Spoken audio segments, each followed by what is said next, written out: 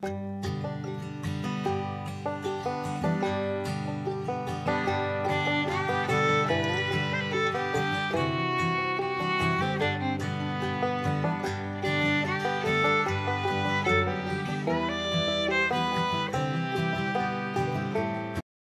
시간에 제가 이제 비판단적으로 경청한다는 것이 어떤 것이냐에 대해서 말씀을 드렸었는데요.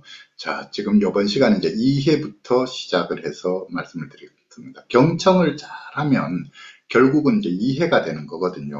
그러니까 내가 경청을 하는 목적이 이해를 하기 위해서 경청을 한다. 내가 상대방을 이해하기 위해서 잘 귀담아 들어본다. 이렇게 생각을 해도 되겠죠. 그러니까 경청을 잘하면 이제 이해가 되는 것이고 그렇기 때문에 이해를 잘 하면 내가 한번 이해를 해보겠다. 이 마음을 가지고 이제 경청을 해야 되는데 자 우리가 이해라고 하는 이 단어를 이해하려고 하면은 이 이해에 세 가지 종류의 이해가 있다. 이렇게 말씀을 드릴 수가 있어요. 첫 번째 하나가 진단적 이해, 그 다음에 치료적 이해, 그 다음에 공감적 이해, 요 세 가지가 있다. 자, 진단적 이해라고 하는 것은 뭐냐? 자, 저도 그러니까 우리는 어쩔 수 없이 이 세 가지를 다 사용할 수밖에 없는데 저 같은 경우에도 상담을 할 때 상당한 경우에 상당히 많은 빈도로 진단적 이해를 하는 경우도 있고 또 때로는 치료적 이해를 하는 경우도 있고 또 때로는 공감적 이해를 하는 경우도 있고 이렇다는 거예요. 그런데 여기에서 말씀을 드리려고 하는 건 부모님들도 그러실 수밖에 없는데 가급적 공감적 이해를 많이 하려고 하는 의지를 가지고 들어가셔야 됩니다. 그 이야기고요. 자, 진단적 이해가 뭐냐, 치료적 이해가 뭐냐, 공감적 이해가 뭐냐 하는 거를 지금부터 이제 말씀을 드리려고 합니다. 진단 이게 아주 쉬워요. 진단적 이해는 한번 오고 끝. 내가 상대방의 이야기를 듣고 끝. 요게 진단적 이해예요. 한 번 오고 끝. 치료적 이해는 한 번 왔는 거를 내가 듣고 판단해서 그걸 말해주는 거. 요게 치료적 이해. 공감적 이해는 그걸로 끝나는 게 아니라 그 피드백을 받아서 그 피드백을 받는 것. 요게 공감적 이해예요. 자, 무슨 말이냐? 진단적 이해는 한 번 오고 끝이라고 했는데 진단적 이해를 할 때에는 자 겉으로 내가 표, 표현 표시도 안 그러니까 표정도 크게 표시가 안 나게 그냥 음 그랬어요 그랬어요 하고 이제 듣고 있는 거 듣고 있으면서 내 안에서 혼자서 판단을 하고 있다 요게 진단적 이해예요 부모님들도 상당수의 경우에 그럴 거잖아요 자녀분들하고 대화를 나누면서 음, 그랬군, 저랬군. 그러니까 진단적 이해는 달리 말하자면 판단적 이해다. 이렇게 생각하셔도 되죠. 그랬을 때 뭐를 기준으로 판단하느냐에 따라서 이제 하는 거예요. 자, 예를 들자면 저 같은 경우에 언제 이런 진단적 이해를 하느냐? 가족분들이 저한테 상담받으러 오셔서 특히나 처음 오시는 가족분들한테는 매우 궁금해하는 게 본인의 자녀가 가진 그 문제가 지금 조현병인지 조울인지 또는 조현정동장인지 진짜로 이 진단 자체가 헷갈려서 오시는 분들도 있고 또 자녀가 지금 어떤 행동을 보이는데 저 행동이 망상인지 아닌지 또는 저 자녀가 지금 환청을 듣고 있는 건지 아닌지 이런 거에 대한 제 판단을 이제 듣고 싶어서 어, 오시는 경우들이 있죠. 오시는 경우들이 있고 어, 그러면 이제 진단적 이해라고 하는 건 뭐냐면 중간에 자 제가 순간적으로 이렇죠. 제가 어떤 한마디 말을 딱 들으면 어 저거는 조현병 같은데 저렇게 행동한다는 건 조현병의 증상인 것 같은데 또 한마디 탁 할 때는 어 저거는 조울증이 있을 때 보이는 어떤 문제인데 또 한마디 탁 할 때 어 저건 조현도 아니고 조울도 아니고 좀또 다른 어떤 건데 이렇게 제 안에서 수시로 그러니까 제 안에서 제가 만약에 한마디 듣고 바로 마, 어, 만약에 부모님이 저한테 오셔서 어, 상담을 받으러 오신 이유가 도대체 진짜 진단이 헷갈립니다. 진단이 이게 조현병인지 조울증인지 조현정동장인지 우울증인지 또는 뭐 감각장애인지 또는 불안장애인지 뭐 뭔지 도대체 진단이 뭔지 모르겠다.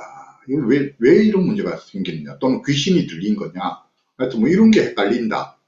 라고 그거 알고 싶다라고 부모님께서 딱 말씀하셨을 때 내가 한마디 듣고 아 그건 이거 같습니다. 그건 이거 같습니다. 이래 가지고 하면은 헷갈려서 안 되겠죠.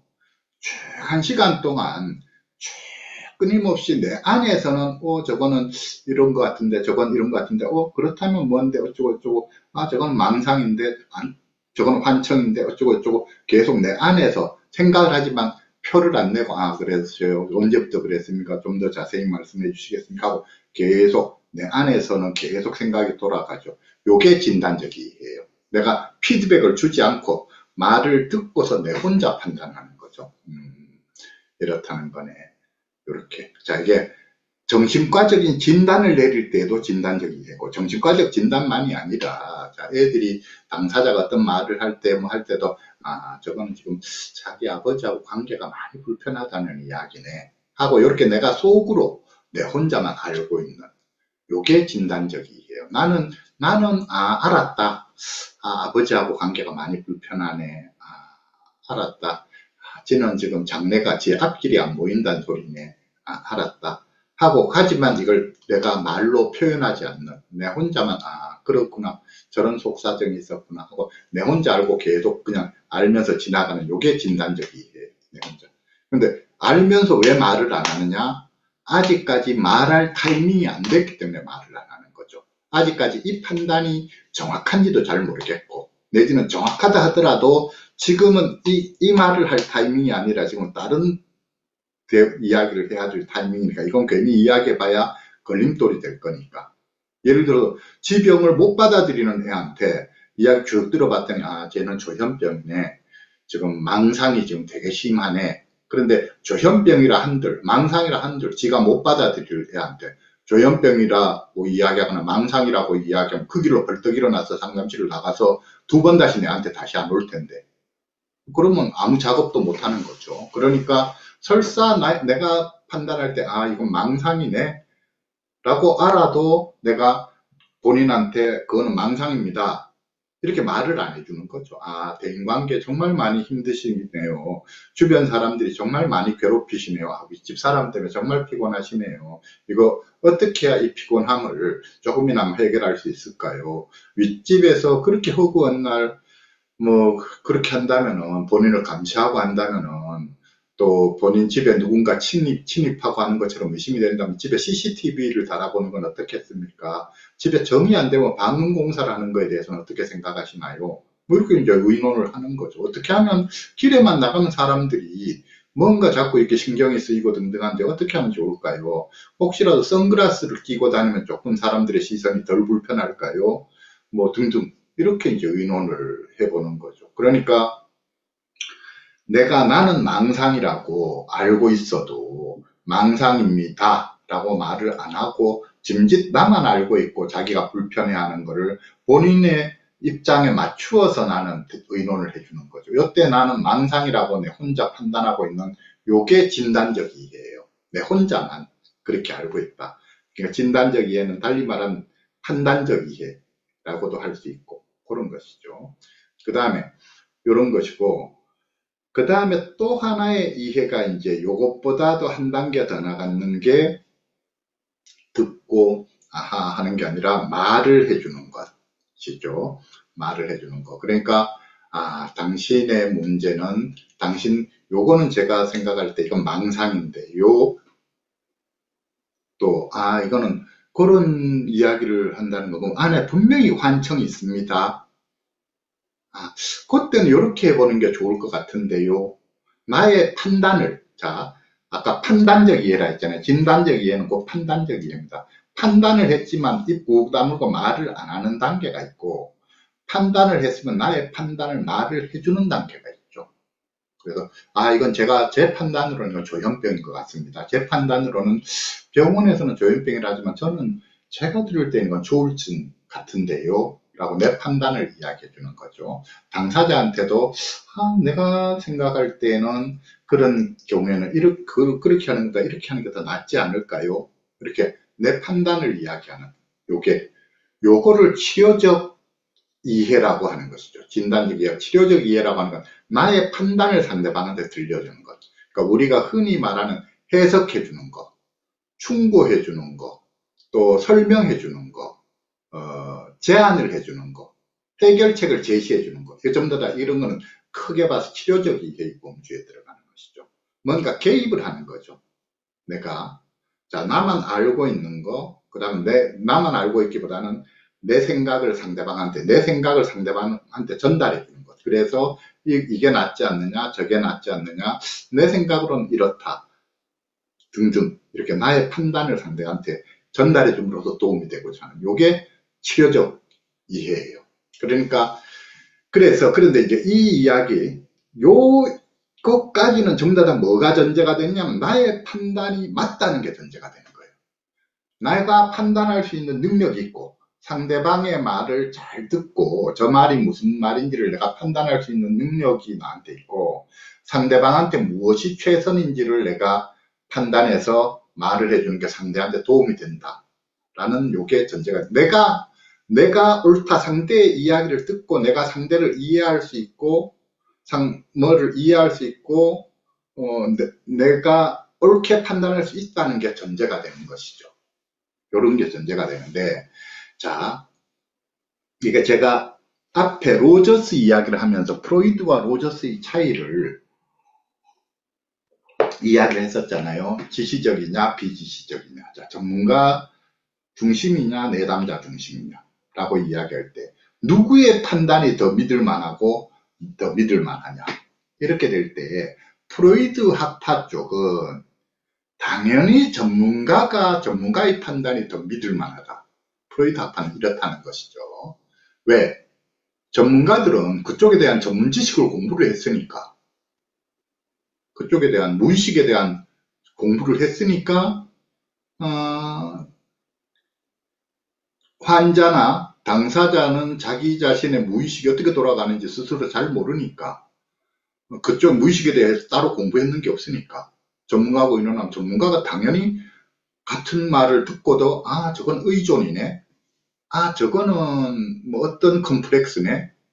아 저거는 뭐 어떤 투사네. 전부 다 전문가의 판단이잖아요. 그러니까 이게 그렇게 전문가가 더 잘 안다라는 전제를 정신분석 학파는 가지고 있다는 거예요 대상관계 학파도 정신분석의 그 뿌리를 이어받았기 때문에 전문가들께 판단하는 거예요 그, 그래서 이론에 따라서 사람을 판단한다는 거죠. 그리고 전문가의 그 판단이 맞다라고 가정하는 것이에요. 그래서 그 전문가의 판단과 당사자의 판단이 서로 다를 때는 어떻게 되느냐? 당사자가 자기 방어를 하고 있다. 그래서 자기 문제를 못 받아들이고 있다. 또 이렇게 되는 거죠. 음, 당사자 입장에서는 정말로 답답한 노릇이죠. 자기가 실컷 이야기했더니 전문가가 당신의 문제는 이런 겁니다 라고 나한테 설명해 주는데 내가 생각할 때는 전문가의 그 설명을 난 받아들일 수가 없어요 나는 음, 동의할 수 없습니다 제가 제 말을 잘못 이해하신 것 같아요 라고 당사자가 전문가한테 항의를 하면 이 전문가는 어, 그건 당신이 지금 당신의 방어에 막혀서 당신은 당신 문제를 못 받아들이고 있다. 이렇게 되니까 당사자는 이래도 잘못됐다고 저래도 잘못됐다 하는 것이죠 그래서 그런 것인데 아무튼 이 전문가가 맞다. 전문가가 전문가는 전문 지식이 있기 때문에 듣고 올바로 판단할 수 있다. 라고 가정을 한다는 거예요. 그리고 그런 방법으로 당사자를 도와줄 수 있다. 그러니까 이전에 로저스 이전에 모든 전문가들은 이 두 가지를 가정하는 거예요. 그러니까 어떻게 도와줘야 되느냐 어떻게 상담해야 되느냐 상대방의 이야기를 잘 듣고 내가 내 판단을 이야기해 주는 것 요게 그 적절한 타이밍에 딱 말해줘야 될 그 시점에 대해서 무조건 한마디 듣고 내 판단 말해주고 한마디 듣고 말해주는 게 아니라 거의 대부분의 경우는 진단적 이해를 하죠. 판단적 이해. 계속 나 혼자만 음, 그렇군, 음, 그렇군 알아듣고 있다가 결정적인 순간에 가서 제가 이제 정리해서 말씀을 드릴게요. 지금 제가 들어보기에는 당신의 문제는 요러 요런 것이고 그러니까 요러 요렇게 하는 게 좋습니다. 이렇게 이게 도와주는 거다. 이렇게 해석해주고 제안해주고 내지는 설득하고 충고하고 등등 이게 도와주는 거다. 이렇게 이제 생각을 했다는 거예요. 아마 세자 상당수 부모님들도 이게 내가 애를 도와주는 방법이라고 생각을 하셨을 거라는 거예요. 그런데 여기에 본격적으로 반론을 제기한 사람이 로저스죠. 그거는 도와주는 게 아니다. 왜? 애초에 출발이 잘못됐기 때문에 그렇다. 내가 상대를 알 수 있다라고 가정한다는 자체가 황당한 거다. 이렇게 되는 것이죠. 뭐냐면 전문가들이 알 수 있는 거는 뭐를 알 수 있느냐. 자, 예를 들어 증상.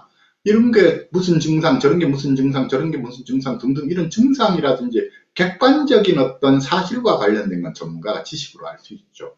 하지만 지 속마음이 어떻게 돌아가는지에 대해서 전문가가 알 수 있다? 그렇지는 않다는 거예요. 그러니까 상대방, 자, 우리가 그걸 이제 로저스의 기본 출발점이 현상학인데 영어로는 피노미, 피노미 날라지예요. 피노미 날라지. 현상학이라고 하는 것인데 이 현상학이 유럽에서는 많이 일반인들도 현상학에 대해서 많이 알고 있고 현상학을 강의하는 교수들도 많고 현상학이 대중들한테도 많이 하여튼 소개가 되어 있는데 우리나라에는 현상학이 뭔지 잘 소개도 안 돼 있고 잘 모르는 데 현상학은 뭐냐 하면 음, 나는 외부 세계에 대해서 내가 알 수 있느냐 알 수 없느냐인데 결코 알 수 없다라고 하는 게 현상학이에요. 그러니까 우리는 외부 세계를 있는 그대로 알 방법이 없다. 나는 상대방을 있는 그대로 진짜 상대방의 모습을 있는 그대로 알 방법이 없다. 내가 아는 모든 것은 나의 생각을 알 수 있을 뿐이다. 이런 것이죠. 자, 이게 그래서 제가 이제 이 현상학 이야기를 할 때 비유로 드는 게 그런데 우리가 학교 다닐 때 물리학 시간이라든지 배워서 다 알고 있잖아요. 어, 우리는 외부 세상에 빛이 색깔이 색깔이라고 하는 게 존재한다라고 생각하지만 빨간색 있고 파란색 있고 노란색이 있고 등등 색깔이라고 하는 것은 이것은 하나의 그냥 번역일 뿐이죠. 무슨 말이냐면 외부 세상에 실제로 존재하는 것은 색깔이 아니고 파장이죠. 긴 파장 또는 짧은 파장. 이게 빨주노초 파남보, 뭐 긴 파장, 짧은 파장이 어느 파장의 이 길고 짧기에 따라서 어떤 것은 빨간색으로, 어떤 색은 노란색으로, 어떤 것은 뭐 파란색으로 이렇게 보이는 이것이 그래서 서로 섞여 가지고 오만 색깔이 또 다 경험이 되는 외부 세계는 파장이 존재할 뿐인데 그걸 우리는 색이라고 하는 걸로 우리의 감각기관에서 파장을 색이라는 걸로 바꿔서 이제 하는 것이죠. 그러니까 어, 그런 것이고 그러니까 이제 우리가 우리 인간은 외부 세계를 이해하기 위해서는 먼저 첫 번째는 감각을 해야 되고요. 외부 세상을 감각을 해야 되고 이 감각했는 것에 대해서 해석이 덧붙여져야 돼. 이 해석이라고 하는 건 뭐냐면 나의 과거 경험과 대조를 하는 거죠. 그러니까 감각을 해서 지금 어, 파장이 색으로 바뀌는 것까지는 감각이에요. 이건 자동으로. 감각, 감, 이렇게 감각이 된 거에다가 플러스 이게 지금 내 앞, 내가 어떤 글을 읽었을 때 이게 무슨 의미지 하고 내가 알아차리는, 아, 이거 나, 내가 좋다는 소리네. 내가 싫다는 소리네. 저 사람의 표정이 저게 어떤 표정이지? 아, 나를 좋다는, 좋게 본다는 거네. 나쁘게 본다는 거네. 라고 하는 이 판단이 되기 위해서는, 판단이 되기 위해서는 반드시 뭐가 필요하냐면 감각의 플러스 해석이 될 때 판단이 되는 거예요. 그러니까 감각의 플러스 해석이 덧붙여진 걸 우리가 지, 각이라고 이야기하는 거예요. 그러니까 이게 가장 외부 세계를 우리가 받아들이는 첫 단계가 지각인데 감각과 지각인데 감각은 외부 세계의 물리적 부호를 그대로 심리적 물리적 부호를 나의 생체 부호로 그냥 바꾸는 외부 세계의 것을 내가 해석 가능한 그 방식으로 변환시키는 요게 감각이고 감각은 우리가 시각, 청각, 후각, 촉각, 미각 눈에 뭐가 보인다, 뭐가 들린다. 자 무슨 소리가 들리는데 아 저거 저거는 영어네 저거 불어네 저거 아프리카의 어느 나라 말이네 자 보세요 뭔 소리가 들린다까지는 우리가 아는데 만약에 아프리카에서 와서 어느 사람들이 막 짓거린다 저거끼리 저게 무슨 어느 나라 말인지는 내가 알지 못하잖아요. 저 뭔 말이지? 말 뜻도 모르고. 왜?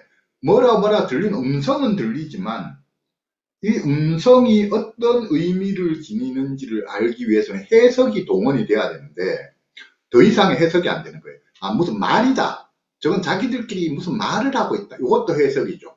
요 해석이 가능한 것도 나의 과거 경험이 뒷받침되기 때문에 그런 거예요. 내가 이런 썰라썰라하는 사람들끼리 나누는 소리를 많이 들었기 때문에 아 저건 내가 못 알아듣지만 저거는 자기들끼리 하는 무슨 말이다.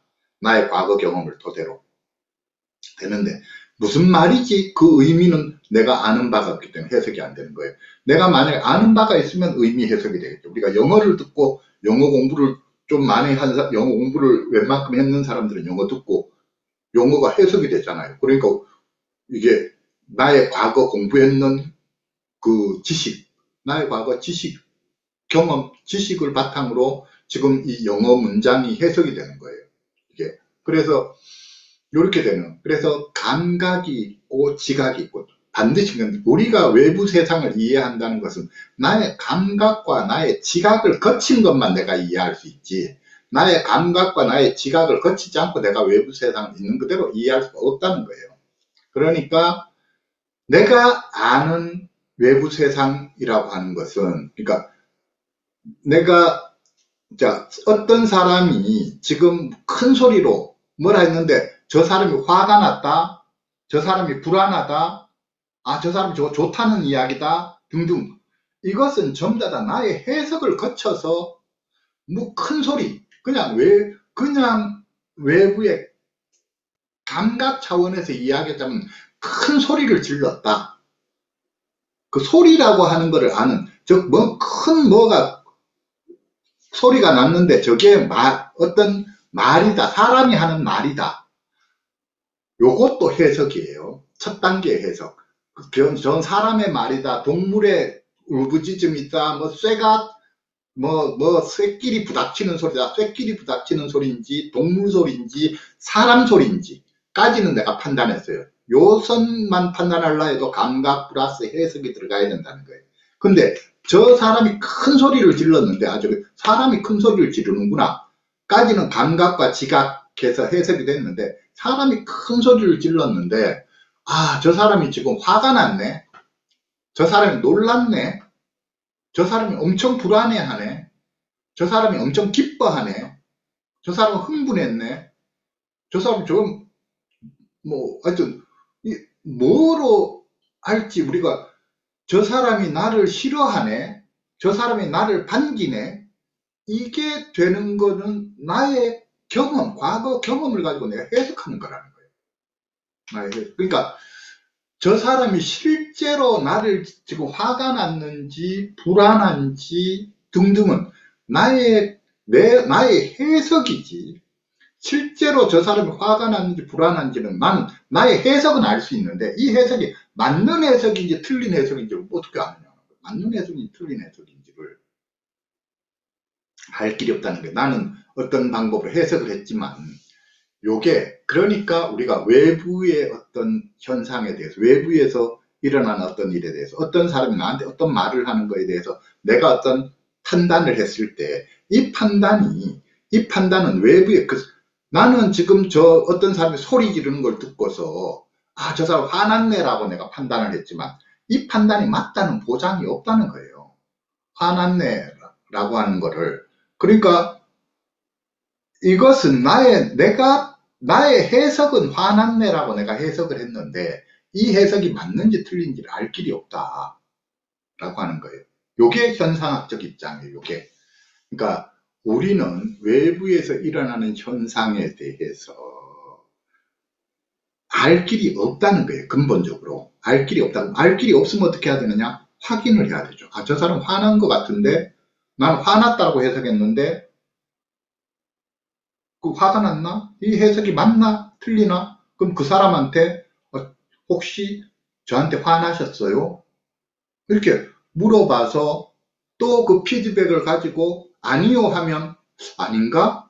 근데 아니요 하는 목소리가 여전히 화가 난 것 같은데 또 다시 또 물어보고 이렇게 피드백을 거쳐가면서 결국은 확인하는 수밖에 없다. 결국 내가 그냥 알 방법이 없다는 거예요. 그냥 알 방법이. 자, 이런 면에서 보자면 우리가 사람들이 저런 말하는 사람들 좀 황당하죠. 자기는 직관적으로 안다. 말만 들으면 바로 직관적으로 안다. 물론 눈치가 빨라서 남들보다는 이걸 뭐 빨리 알아차릴 수는 있지만 직관적으로 안다라고 했을 때 그 자기가 느낀 그 직관이 맞는지 틀린지를 사실은 알 길이 없는데 우리는 자기 확신이 강한 사람들이 있어요. 자기 확신이 강한 사람은 자기가 아, 저 사람은 화난 것 같아 라고 하면 100% 이렇게 되는 거예요. 근데 공정하기는 100%가 아니라 10%, 20% 아니면 반반 이렇게 돼야 되지. 이걸 100%라고 받아들이면 곤란하죠. 근데 이제 우리가 이렇게 선입견이 많고 고정관념이 많고 또는 자기 열등감이 많고 등등 뭔가 이렇게 자기 문제가 많은 사람들일수록 자기 확신이 강한 경향이 있죠. 그래서 자기 확신이 강한 경향이 있는데 자 현상학에서는 확신하지 마라 하는 거예요. 판단하지 마라.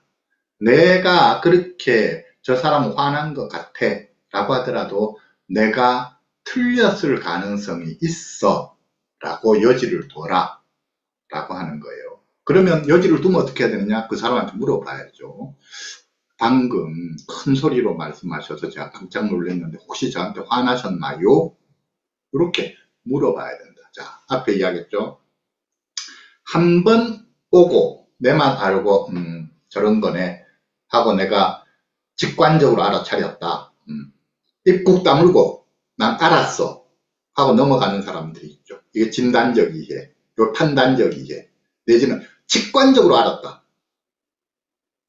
그 하여튼 내 혼자 알고 내가 알았는 거를 그냥 맞다라고 맞다라고 가정하고 넘어가 버릴 수도 있다는 거 이런 성향이 강한 사람도 있고.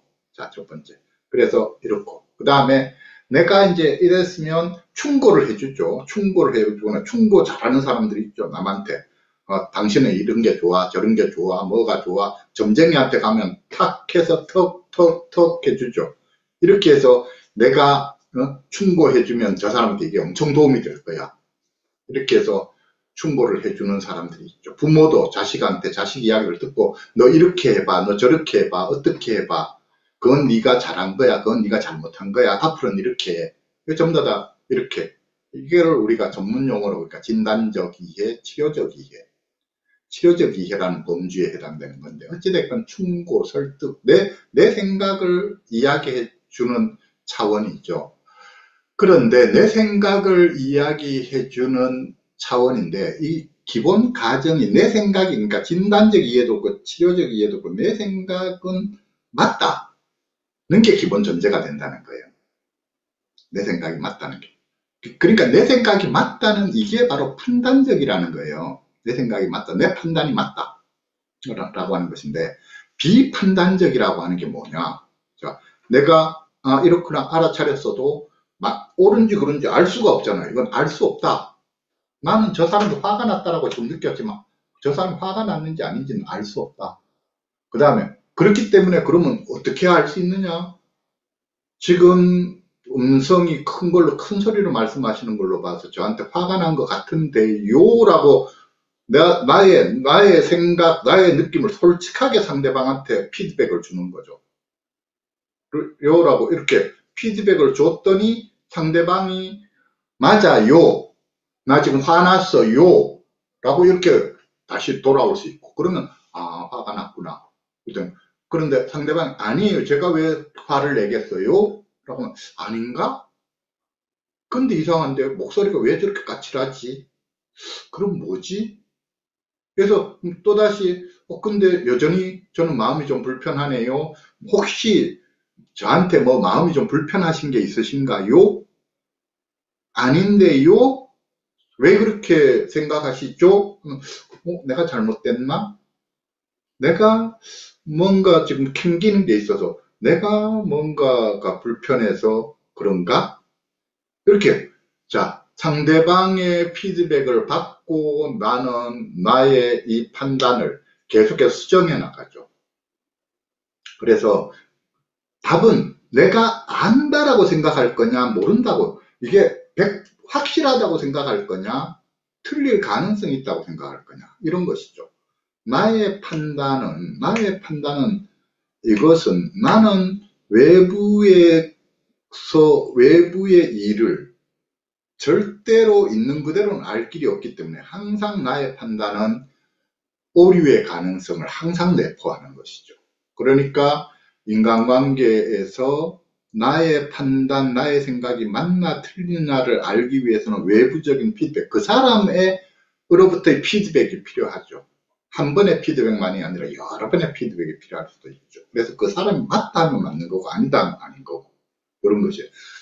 이게 공감적 이해예요. 그러니까 한 번 왔는 거를 가지고 맞다라고 내가 생각 안 하고 내 생각에 이게 틀렸을 가능성 때문에 다시 확인하는 절차를 거쳐서 다시 왔을 때 아, 라고 그래서 확인이 되면 이게 공감적 이해예요.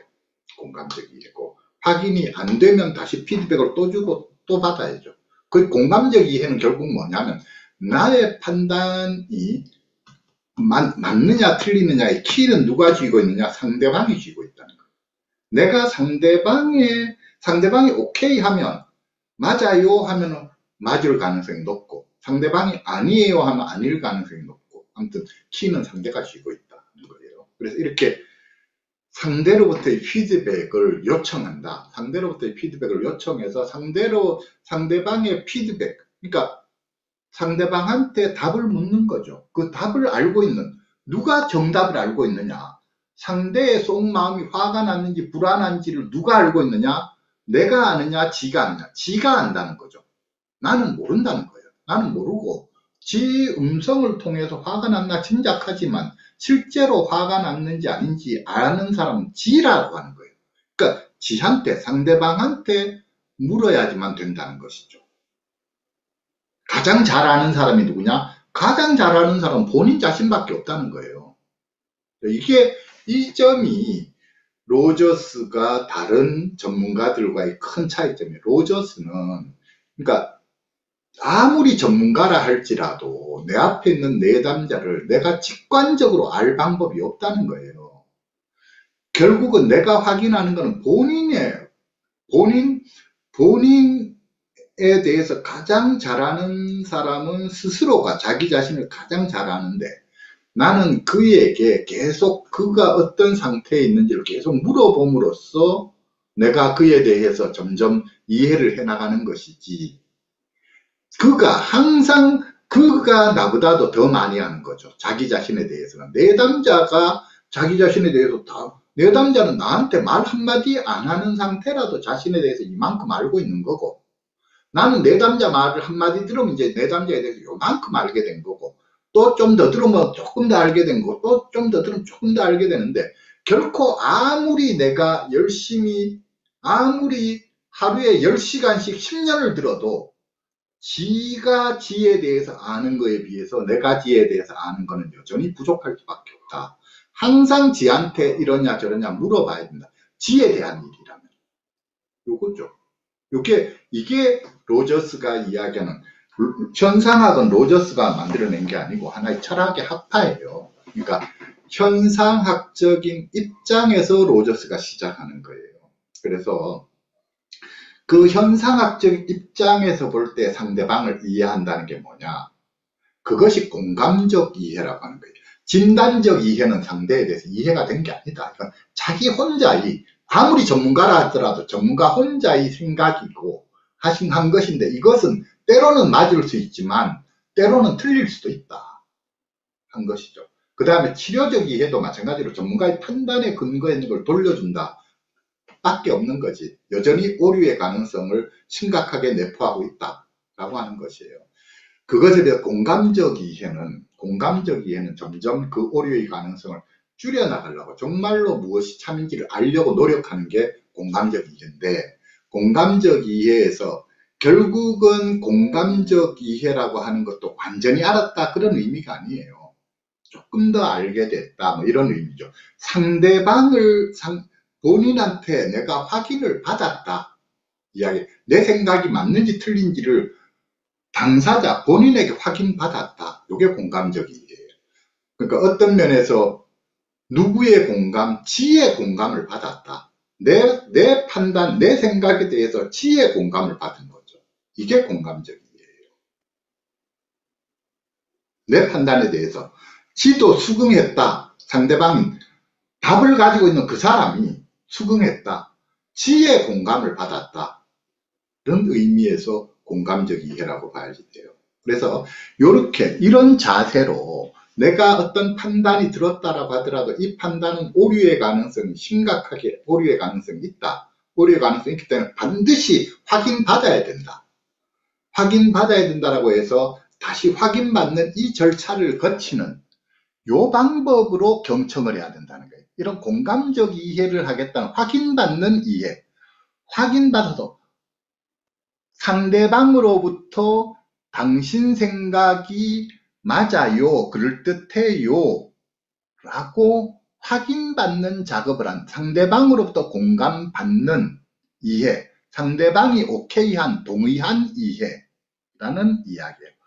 그러니까 아들은 자제분하고 이야기는 자제분이 동의한 이해. 엄마 말이 그래 엄마가 내 말을 제대로 알아들었네. 아빠가 맞아. 그게 내가 하려고 했던 말이야. 아빠가 내 말을 제대로 알아들은 거야. 이렇게 애가 오케이 사인이 나는 그게 제대로 된 이해라고 하는 거예요. 애가 여전히 나는 제가 분명히 이렇지 하는데 애가 아니야. 왜 자꾸 내 말을 엉뚱하게 알아들어? 왜 내가 내, 내 말을 자꾸 다른 식으로 이해해? 라고 하면, 아, 내가 잘못 알아들었구나. 이렇게 돼야 된다는 거예요. 그러니까, 자제분이 오케이 놓으면, 엄마, 이제 엄마가 내 말을 알아듣네. 엄마, 방금 그 말이 맞아. 맞아. 이렇게 되는 고 이해를 우리가 공감적 이해를 한다는 거예요. 그게 진짜로 이해한 거예요. 자, 우리가 흔히 이야기하는 사람들처럼 나는 사람들 한마디만 들으면 사람들 마음을 바로바로 알아. 나는 직관력이 뛰어나. 그거는 엉터리예요. 그거는 그냥 직관력이 뛰어난 게 아니라 자기 확신이 심한 거예요. 자기 확신이 심하다는 건 뭐냐면 틀린 생각을 해놓고도 나는 틀린 생각을 할 리 없어. 나는 내 생, 내가 생각하면 언제나 내 생각은 오라. 100%내 생각이 오라. 이게 자기 확신이에요. 이 자기 확신이 강한 사람은 사사건건 사회생활에서 딴 사람하고 부닥칠 수밖에 없고 다른 사람들 입장에서는 정말 밥맛 이래 되는 거예요. 다른 사람들 입장에서는 뭔 저런 저런 자기 멋대로 생각하네 이렇게 되는 거예요. 자기 확신이 강한 사람은 자기 확신 그래서 그런 것이에요. 그래서 그런 것이고 그래서 그것이 공감적 이해다. 라고 하는 것이고요. 그렇게 경청을 할 때는 자 비판단적으로 들으셔야 됩니다. 공감적 이해를 하려고 하는 자세로 들으셔야 됩니다. 결국 따지고 보면 비판단적이라는 말과 공감적이라는 말이 같은 말이죠. 나의 판단을 확신하지 않는 것이에요. 나의 판단을 확신하지 않는 상대방을 이해하려고 하는 진짜로 상대방을 이해하려고 하는 그런 자세를 이야기하는 것이에요. 그래서 아무튼 자 이렇게 해서 자 경청을 경청을 하게 되면 결국은 이렇게 공감적 이해가 되게 되고 결국은 상대방이 오케이 놓으면 공감적 이해가 되게 되고 공감적 이해가 됐을 때에 비로소 공감이 되는 거예요. 공감적 이해라는 말과 공감이라는 말은 서로 다른 말이에요. 우리가 상담책에 보면 그거를 공감적 이해는 곧 공감이다. 이런 말도 안 되는 설명을 해놓은 상담책들이 있는데 참 황당한 이야기죠. 아니 로저스가 바보도 아니고 엠파시 공감은 엠파시고 공감적 이해는 엠파식 언더스탠딩인데 바보가 아닌다 하면은 공감이라고 한마디로 할 수 있는 이야기를 왜 공감적 이해라고 길게 말을 붙여요? 그리고 우리말도 그렇고 영어도 그렇지만 전부 다 empathic understanding 하면 understanding이라는 소리예요. 우리말도 공감적 이해라면 이해란 소리. 이해를 해야 되는데 어떤 이해를 해야 되느냐? 공감적 이해를 해야 된다. 이해를 해라. 제대로 이해를 해라. 그게 empathic understanding이지. 어떻게 이해를 하라는 말을 이해 제대로 이해를 해라. 이 말은 곧 공감을 해라. 이 말과 같다. 그런 엉터리 해석이 어디 있느냐고요. 그런 상담책이 있다는 참 한숨이 나올 이야기죠. 그래서 공감적 이해는 공감이 아니에요. 상담책에 엉터리로 써놔서 상담자들 중에 한 제가 볼 때 절반은 공감적 이해는 공감이다. 이렇게 알고 있는 상담자들이 있는데 그거는 잘못된 지식이에요. 아니 공감적 이해와 공감 전혀 다른 이야기예요. 이해, 이해를 해라. 제대로 이해해라. 네 생각대로, 네 멋대로 이해하지 말고 제대로 이해해라. 제대로 이해한다는 건 뭐냐? 그 제대로 이해하는 기반은 책에 있는 게 아니다. 어디에 있는 게 아니다. 바로 상대, 답은 누가 쥐고 있느냐? 답은 상대방, 본인 자신에게 답이 있다. 자꾸 책에서 답 찾지 말고, 딴 데서 답 찾지 말고, 상대방한테 물어서 답을 찾아라. 상대방의 오케이를 받으려고 해라. 이게 공감적 이해예요. 그런데 프로이드 학파나 대상관계 이론자들은 책에서 답을 찾는단 말이에요. 그게 제가 갖다 풀딱 뛴다. 그런 식으로 일하지 마라. 사람을 그런 식으로 책 보고 사람을 가위질하고 칼질하고 하지 마라. 라고 이야기하는 거예요. 그 사람한테 답이 있어요. 그 사람한테. 그 사람이 아니요 하면 아닌 거예요. 그 사람이 아니요 하면 방어 기제, 당신은 지금 방어 기제에 빠져 있다. 그렇게 말하면 안 돼요. 아니요 하면 아닌 거예요. 아니요 하는 걸 왜 자꾸 책 가지고 갔다가 그걸 맞다고 이야기하느냐 라고 하는 거예요. 그래서 답이 그 사람한테 있다. 답이 그 사람한테 있다. 제발 그 사람한테 확인해라. 부모님 같으면 답은 전문가한테 안 있어요. 자녀분한테 있어요. 자녀분의 속마음이 어떤지는 전문가가 아는 게 아니에요. 자녀분 본인이 아는 거예요. 그러니까 부모님은 자, 본인이 이해할 수 있을 때까지 자녀분을 붙들고 자녀분한테 이야기를 들으려고 해요. 이해가 안 되면 자꾸 묻고 묻고 또 물으셔야 돼요. 그래서 자녀분이 드디어 인제 엄마가 내 마음을 좀 아네. 인제 아빠가 내 마음을 좀 아네. 그거야. 내가 하려고 했던 말이 그 말이야. 이런 말이 나올 때까지 자녀분의 말을 들으셔야 된다는 거예요. 그래서 아무튼 경청을 하면 이해가 되고 제대로 이해가 되면 내 식으로 내 멋대로 이해가 되는 게 아니라 내가 제대로 이해를 하면 비로소 제대로 된 공감이 되는 거예요. 내 식의 공감이 아니고 또 우리가 공감도 엉터리 공감도 많아요.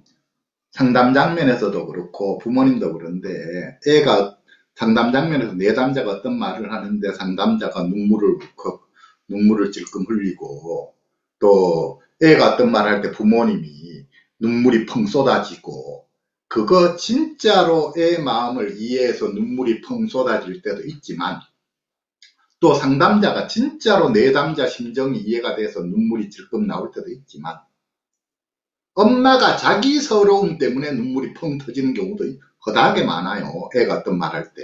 상담자도 내담자의 말을 자기 식으로 멋대로 갖다 해석해서 눈물이 질끔 날 때도 허다하게 많아요. 그건 엉터리 공감이죠. 진짜 공감. 자기 감정에 빠진 거예요. 내담자의 감정을 느낀 게 아니고. 그거는 진짜 공감이 아니에요. 그러니까 뭐냐면 이 모든 헛바퀴는 어떻게 도느냐? 내가 판단적인 이 헛바퀴가 돌아요. 경청을 진짜 경청을 하는 게 아니라 경청을 하는 척하고 진짜 제대로 된 이해를 하는 게 아니라 내 식으로 내 멋대로 이해를 하고 그걸 맞다고 착각하고 내 식으로 내 멋대로 느끼고 그 상대방의 감정이 그럴 것이라고 착각하고 이런 식의 헛바퀴들이 도는 경우가 허다하게 많다는 거예요. 그래서 그게 아니라 제대로 돌아가려고 하게 되면 비판단적이어야 되고 나는 모른다. 나는 모른다는 자세로 끊임없이 호기심을 가지고 물어보고 호기심을 가지고 물어봐야 되지.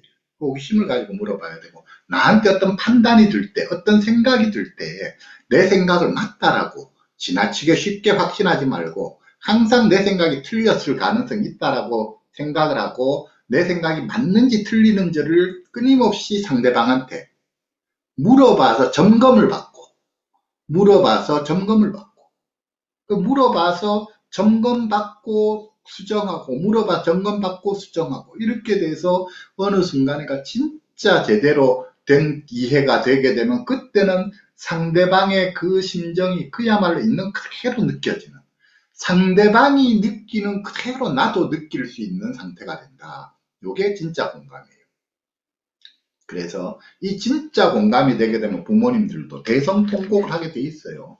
애가 그 사이에 얼마나 힘들었는지 애가 무슨 말을 하는지 내가 깨닫게 되면 진짜 대성통곡이 나올 수밖에 없어요. 그래서 경청과 이해와 제대로 된 그래서 뭐 이제 뭐 어떤 큰 공감만이 아니라 그때부터 순간순간에 작은 그 순간의 당사자의 감정을 나도 있는 그대로 최대한 비슷하게 느끼는 그게 이제 공감이고 이렇게 공감이 되게 되면 머리로 이해가 되고 감정적으로 심정적으로 공감이 되고 이렇게 되게 되면 그 다음에는 수용이 된다. 상대가 있는 그대로 받아들여진다.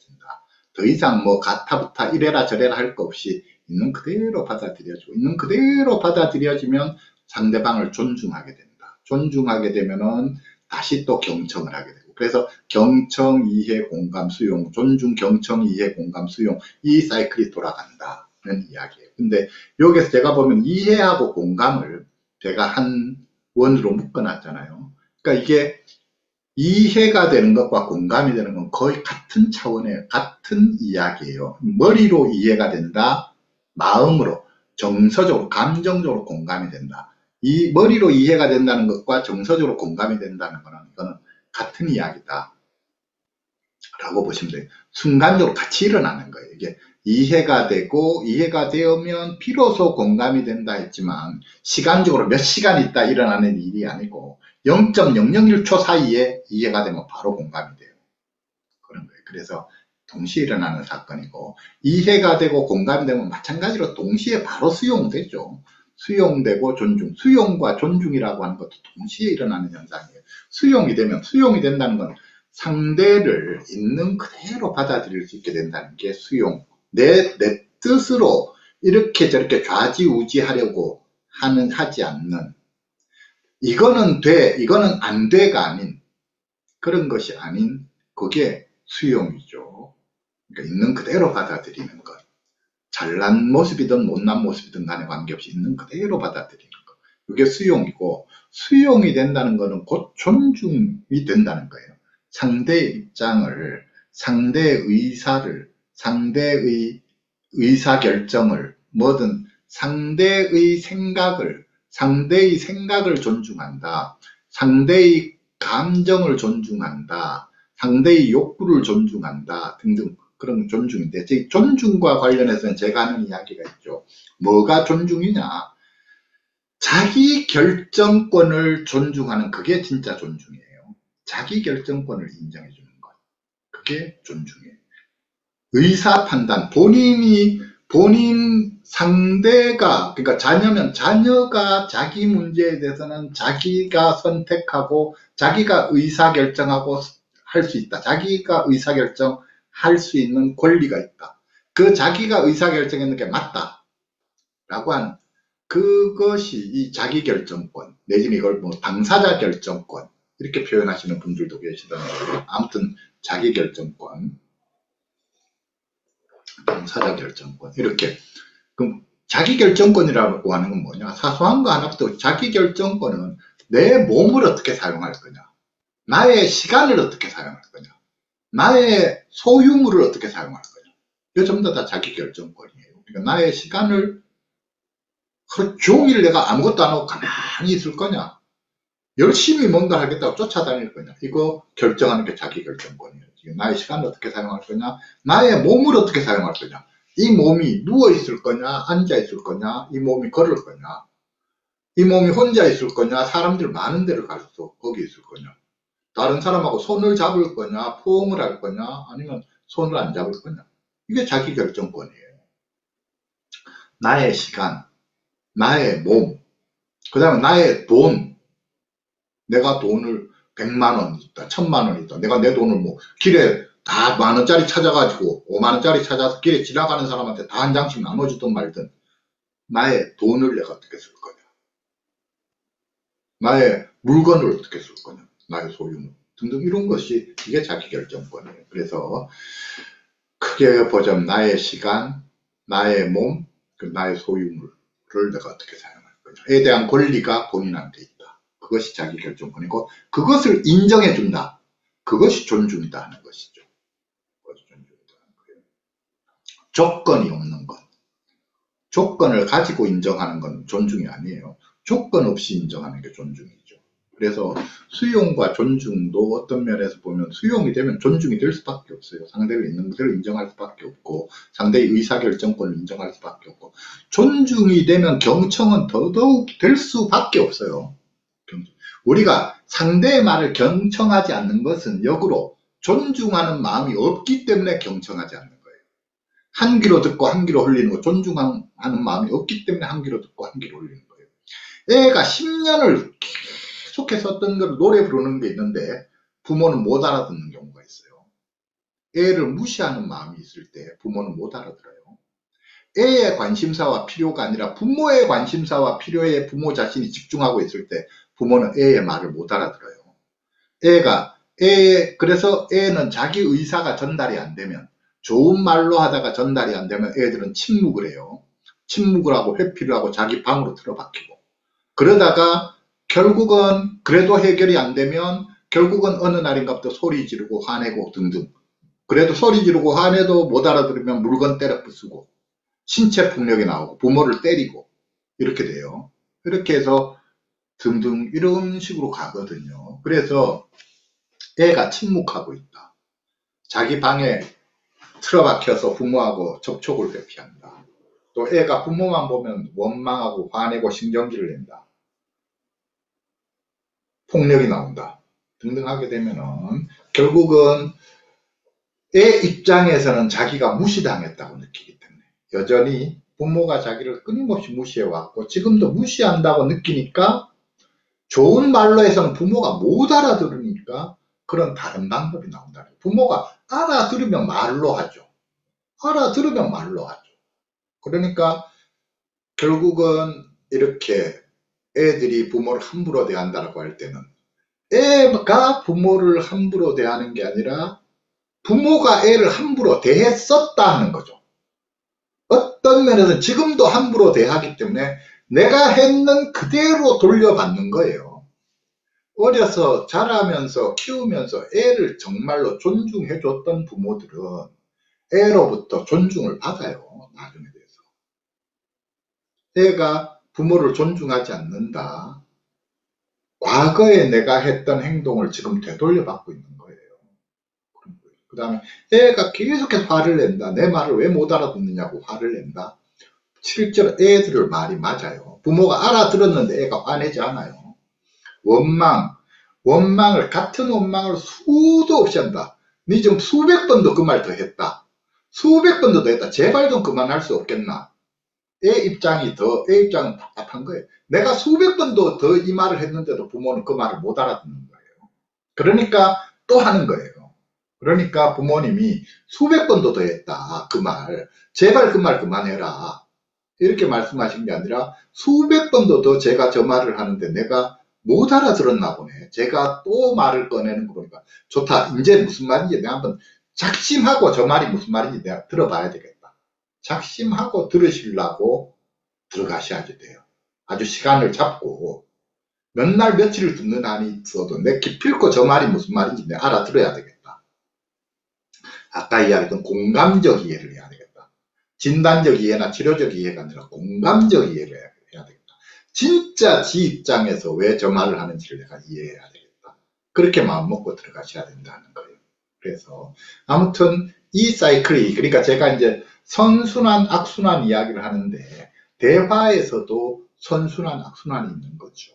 그러니까 대화에서도 선순환이 돌기 시작하면 이 사이클이 도는 거예요. 경청을 하고 경청을 하게 되면 이해를 하게 되고 이해를 하면 공감을 하게 되고 공감을 하면 수용을 하게 되고 수용을 하면 존중을 하게 되고 존중을 하게 되면 경청을 하게 되고 여기 화살표를 경청 방향에만 해두었지만 사실은 존중을 하게 되면 경청도 더 잘 되고 이해도 더 잘 되고 공감도 더 잘 되고 수용도 더 잘 돼요. 사실은 그런 것이고요. 이렇게 해서 여기에 긍정적인 이 선순환의 사이클이 돌아가면 자녀분의 자기 노출은 더더욱 촉진되고 이런 것이죠. 그리고 이게 이제 좋은 상담이라고 하는 건 요게 이제 로저스가 이야기했는 바에 로저스가 지금 요 시기에 요 그림 그려놔놓고 이렇게 이야기했는 건 아니에요.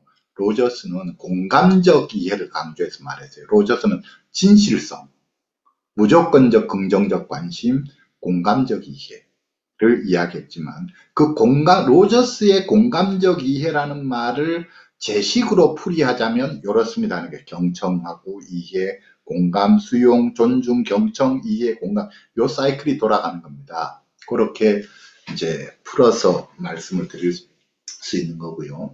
요거는 뭐 이렇게 경청, 이해, 공감, 수용, 존중, 경청, 이해, 공감, 수용, 존중 요 이야기는 뭐 저만이 아니라 이거는 여기저기 상담하시는 분들은 이런 심리 상담하시는 분들은 이런 사이클을 이야기하시는 분들이 계실 거예요. 이건 이런 사이클이 돌아갑니다. 이야기. 이렇게 되게 되면은 내담자의 자기 노출은 촉진되는 거죠. 그래서 이게 우리가 병이 나으려고 하면 제가 앞에도 이야기했잖아요. 두 가지 용기가 필요합니다. 하나가 말문을 여는 용기. 가족들로서는 가족은 자녀분의 입이 트이게 만들어. 그래서 말문이 트이면 말을 하면은 무조건 하고 박수 쳐줘라. 무조건 하고 줘. 옳거니 옳거니 라고 해라. 음, 입이 말을 한다는 것은 병이 낫고 있는 거예요. 그러니까 입을 꼭 닫고 있던 애가 말을 하는 건 무조건 좋고요. 말에는 옳고 그런 게 없어요. 부모님들이 자꾸 옳은 말은 하게 하고 그런 말은 못하게 하려는데 그러면 말문을 닫게 만드는 거예요. 그거는. 그렇기 때문에 옳고 그름이 없이 무조건 하고 어떤 말을 하든지 간에 엉뚱한 소리, 망상을 이야기해도 원망을 해도 화를 내도 말로 하는 거는 다 좋은 거예요. 말수가 많아지면 무조건 병이 낫고 있는 거다. 낫는 쪽으로 가고 있는 거예요. 그러니까 말을 많이 하게 만들어야 돼. 무조건 말을 많이 하게 만들어야 된다. 자기 속마음 이야기를 많이 하게 해야 된다. 속에 있는 속마음 이야기라고 하는 자신의 생각을 이야기하게 돼. 자신의 생각, 감정, 욕구, 충동 등등 이런 것들을 많이 끄집어내서 이야기를 하게 만들어야 된다. 자기 노출을 하게 해야 된다. 하는 것이에요. 이게 자기 노출을 하게 하려면 부모가 이런 식의 자세로 당사자의 말을 들어야 됩니다. 경청을 잘 해주면 자기 노출은 촉진이 되게 되어 있습니다. 이야기고. 또 경청을 잘 해주려면 여기에 비판단적이어야 된다. 비판단적이라는 건 달리 말하면 무슨 말이냐면 사회적 규범을 내려놓을 때 비판단적이 가능해지는 거예요. 윤리 도덕을 내려놓을 때 옳고 그름을 내려놓을 때 나의 욕구를 내려놓을 때 비판단적인 게 가능해져요. 그러니까 단순히 나의 욕구만 내려놓는다고 되는 게 아니고 부모의 욕구, 부모의 자녀에 대한 기대 이것만 내려놓는다고 되는 게 아니라 사회적 규범을 내려놔야 돼요. 그러니까 아, 옳고 그름, 음, 윤리, 도덕, 에티켓, 체면, 사회적 성공 신화 이런 걸 다 내려놔야 돼요. 그래서 사회적 기준에 의해서 판단하지 말고 스스로가 자기 자신의 기준에 의해서 판단하게끔 도와줘야 된다 하는 거예요. 그래서 자, 당사자들이 병이 낫고 싶으면 두 가지 용기가 필요합니다. 하나가 말문을 여는 용기, 또 하나가 사회적 기준을 내서 사회적 기준에 사회적 평가에 매이지 않는 용기. 남들이 평가에 매이지 않는 용기. 그리고 사회적 기준을 내려놓고 남들이 평가에 매이지 않는 이게 필요합니다. 이야기예요. 그래서 부모님들이 당사자를 잘 도와준다는 것은 그렇게 도와주는 거예요. 당사자가 자기 노출을 많이 할 수 있게끔 해주고 당사자가 사회적 기준을 내려놓고 사회적 기준을 내려놓고 사회적 평가에 매이지 않게끔 해줘야 된다. 당사자가 비판단적인 태도로 스스로를 대할 수 있게 해야 된다 하는 거예요. 스스로를. 그렇게 하자면 부모님부터가 비판단적인 태도로 당사자를 대해야 된다. 옳고 그름이 없이. 그럼 옳고 그름이 없다면 뭐가 옳은 거냐, 뭐 뭐를 기준으로 삼아야 되는 거냐? 로저스 입장에서는 유기체, 유기체 경험을 기준으로 삼아라. 이 말은 로저스는 자기 몸을 신뢰하라 라고 했다 했잖아요. 자기 몸을 신뢰하라 라고 하는 거예요. 그래서 그런 것인데 로저스 이야기는 뒤에 언제 기회를 봐서 좀 자세히 자료를 만들어서 자세히 강의를 해드리겠습니다. 오늘은 이 정도로 이제 오늘 강의를 마칠까 싶은데요. 오늘 강의했는 거는 지금 저희가 이제 가족 환자 관계 개선에 대해서 이야기하고 있는데 지난 시간에는 자녀를 대하는 태도에서 너그러운 무관심, 감정은 긴장, 로저스까지 하는 상담자의 네 가지 태도 이야기를 했었고 오늘 시간에는 가족 환자 간의 대화법 중에서 경청이 중요하다는 이야기를 오늘 지금 두 시간에 걸쳐서 한 거예요. 그래서 어, 첫 번째 시간에는 비판단적인 태도로 경청해야 된다는 내용을 중심으로 강의했고 두 번째 시간에는 로저스가 이야기한 공감적 이해라고 하는 게 뭐냐. 그것을 공감적 이해를 하려고 하는 그 자세로서 경청을 해야 된다. 그 말씀을 드렸던 거예요. 그래서 오늘은 경청이 중요하다는 이야기를 드렸었고요.